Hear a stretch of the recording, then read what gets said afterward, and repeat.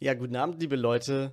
Es gibt wohl was Neues. Jedenfalls sagt es Twitter überall und hier und da, dass äh, auf NA wohl ein Patch erschienen ist und die neuen Maps wohl da sind. Da bin ich sehr gespannt, ob wir den auch morgen früh haben und äh, ob ich denn was ansagen kann zu den Maps und so weiter.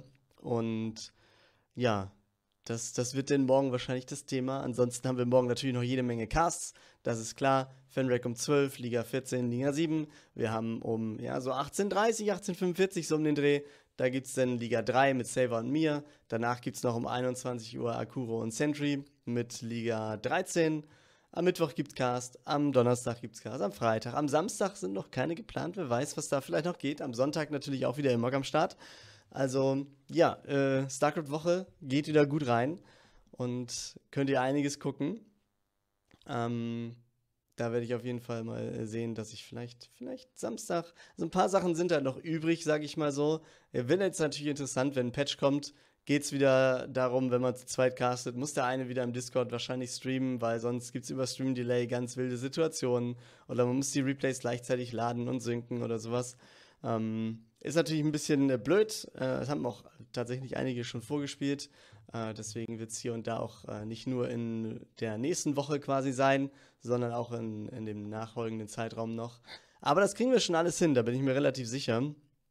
Und ansonsten habe ich heute, was habe ich heute gemacht? Ich habe eben gerade die, die Stream-Links, äh, Stream-Links, die Sponsoren-Links endlich mal unter den Stream gepackt, also auf dem SC2D-Kanal könnt ihr jetzt auch unten die, die Sponsoren anklicken, so wie es äh, sein soll. Alles ist eingerichtet und so weiter.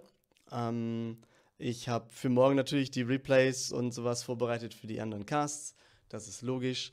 Ich habe ähm, alle, ja, alle Überweisungen rausgepackt für das Jahr 2022. Habe ich fast, fast muss ich sagen, nicht alles, aber fast alles.